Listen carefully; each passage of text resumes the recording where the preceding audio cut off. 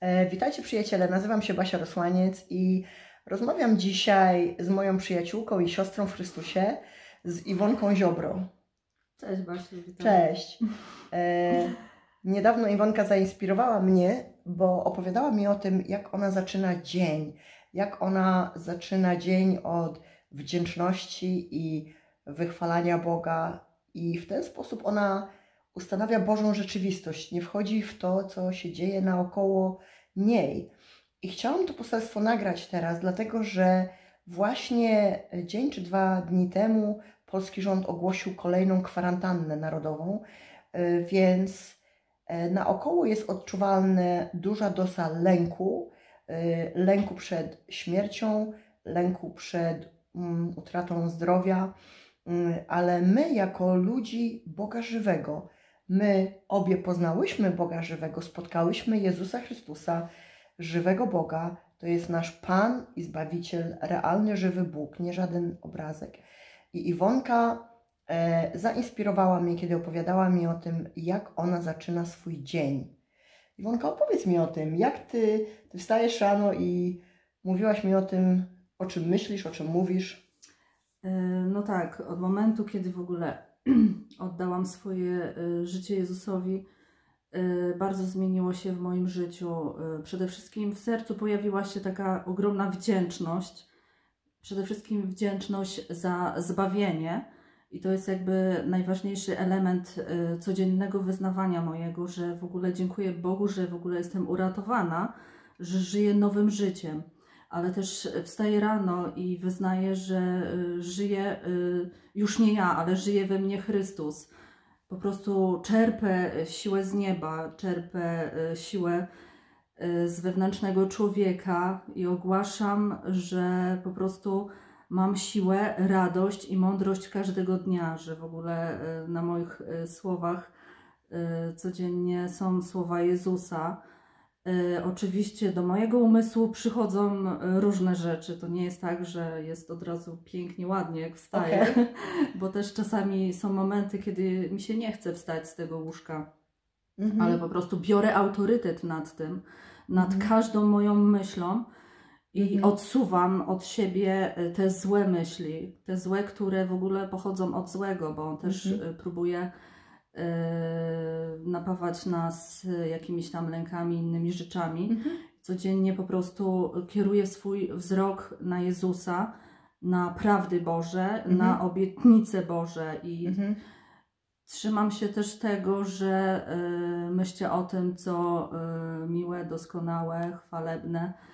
Y, na tym się skupiam. Skupiam okay. się w ogóle na radości Pana. Okay. Kiedyś w ogóle byłam osobą bardzo przygnębioną, smutną. Mm, denerwowały mnie osoby wręcz, które gdzieś tam się radowały. Okay. Ja nigdy tego jakby y, nie mogłam doświadczyć, no tak. bo nie znałam Jezusa, ale od momentu, tak. kiedy y, Duch Święty zamieszkał we mnie, to we mnie jest w ogóle ta radość. Ja wiem, okay. że ja muszę się udrażniać na to, że ja muszę wydobywać, że ja muszę to mhm. wygrzebywać, ale też y, czytając jakby Słowo Boże, zagłębiając się w tym mm -hmm, i mm -hmm. oddawając też Bogu chwałę y, wszystkim tym, co robię, tak? Każdego dnia. Y, dziękuję Bogu za małe rzeczy, tak. za to, że jak wstaję, to mam siłę. Tak że mam w ogóle dach nad głową, że mam tak. zdrowe ręce, zdrowe nogi, zdrowe ciało, tak. że w ogóle Bóg mi błogosławi, że tak. mam super pracę, że mam co jeść, w ogóle, że tak. mam prawdziwych przyjaciół z nieba. Tak. Kieruję w, w, ogóle myśli na to, co jest dobre, mm -hmm, miłe i doskonałe. Mm -hmm. I oczywiście y, odsuwam od siebie ten każdy diabelski atak, okay. autorytet po prostu nie daje się i, i wyznaję to, co Bóg dla mnie ma każdego dnia. Czyli co dokładnie wyznajesz? E, że wstaję rano i żyję mocą zmartwychwstałego Chrystusa. Nie okay. żyję już ja, ale żyje we mnie Chrystus. Okay. E, nie wiem, no, każdego dnia jest to różnie. To nie tak. jest jakaś tam formułka, tak? W zależności od tego, co, co tam przychodzi mi do głowy. E, wyznaję e, Y, miłość Bożą, że w ogóle skupiam się, często w ogóle skupiam się na Bożej miłości, na to w ogóle, jak Bóg bardzo mnie pokochał. W Mhm. ogóle dzisiaj jestem pewna, że po prostu Bóg mnie kocha i cała ta Boża miłość jest rozlana we mnie Mhm. i że ja umiem to uwalniać dzisiaj. Ja kiedyś Do ogóle- ludzi? Tak, No. kiedyś nie umiałam kochać. Tak. W swoim małżeństwie nawet nie umiałam kochać swojego byłego męża, bo, bo to nie było prawdziwe, więc w momencie, Mhm. kiedy się narodziłam, dopiero to y, zaczęło rosnąć we mnie i dojrzewać. Mhm, I, I jakby zaczęłam to jeszcze bardziej y, poznawać Mhm, każdego dnia. W ogóle to jest jakby cały proces mhm, tego. mhm. To nie tak, że od razu człowiek już wie, ma i, i mówi, Tak. ale to jest y, też, bierze się z tego, z przebywaniem z Bogiem, z Tak. relacją z Bogiem, Amen. z tym, co Duch Święty y, ma do nas. I, I po prostu uwalnianie tego na zewnątrz, kochani.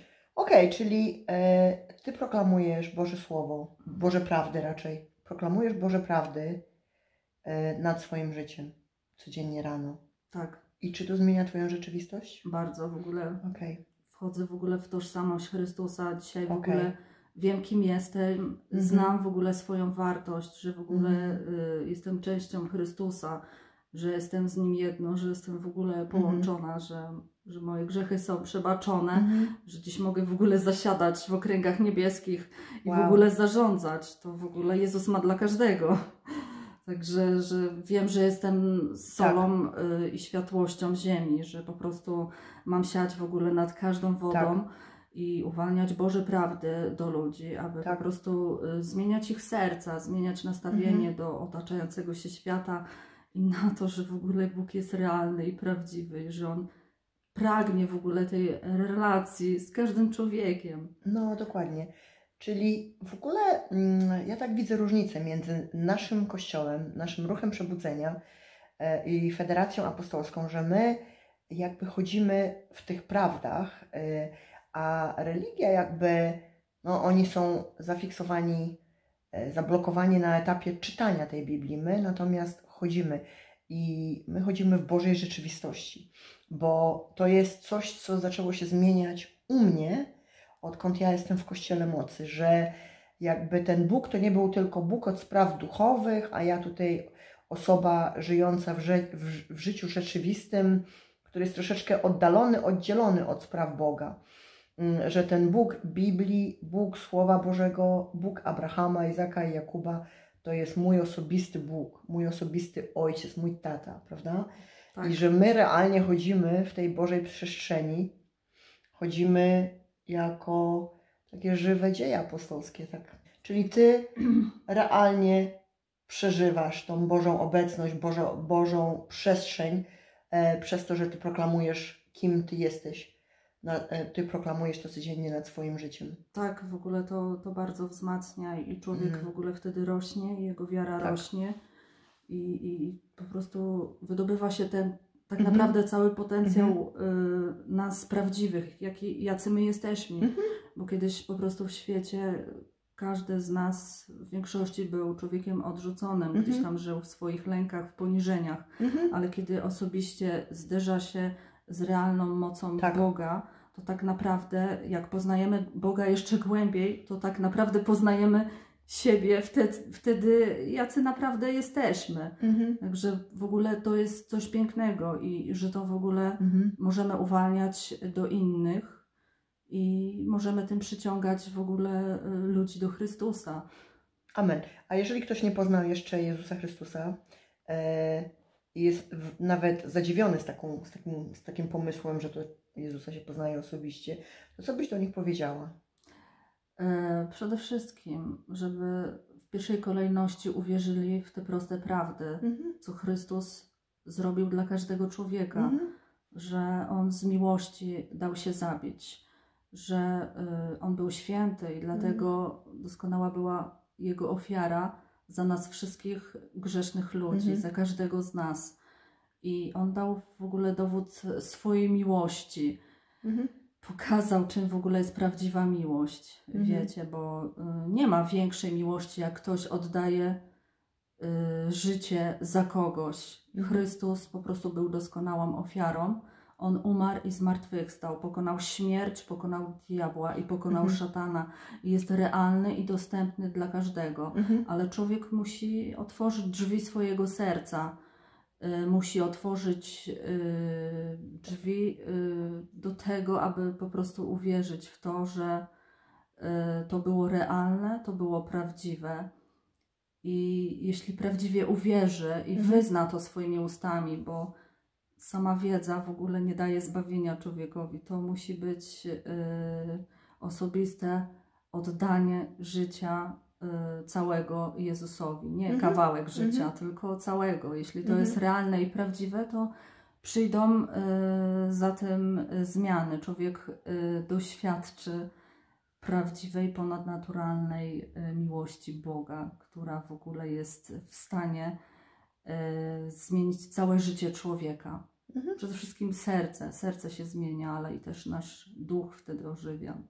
Gdy się rodzimy na tej ziemi, to mamy martwego ducha, ale w momencie, kiedy pojednamy się z Bogiem przez Jezusa, nas, nasz y, duch ożywia całe Mhm. nasze wnętrze. Także... Amen. Jeżeli jeszcze osobiście nie poznałeś Jezusa Chrystusa, to jest to możliwe, jest to jak najbardziej realne. My obie spotkałyśmy osobiście Jezusa Chrystusa, Boga żywego. I żeby poznać Pana Jezusa, musisz zacząć od tego, że, żeby zapragnąć tego swoim sercem.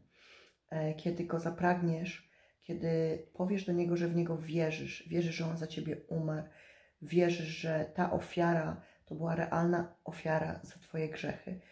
Przeprosisz Go za swoje grzechy i uwierzysz, że On zmartwychwstał, że to jest żywy Bóg. To nie jest tylko krzyżyk, to nie jest tylko laleczka w żłobie, to jest żywy, realny Bóg. Kiedy uznasz Go jako swojego Pana i Zbawiciela, jako autorytet do swojego życia, to On realnie przyjdzie i zmieni całkowicie Twoje życie, prawda? Prawda. I amen mówię na to. Amen. Nie zwlekaj, otwórz swoje serce, zapragnij Jezusa i wyznaj Go swoimi słowami, swoimi ustami. Wyznaj Go, wezwij Go i wyznaj Go jako swojego Pana, jako swojego Króla. Amen. Amen. Mm.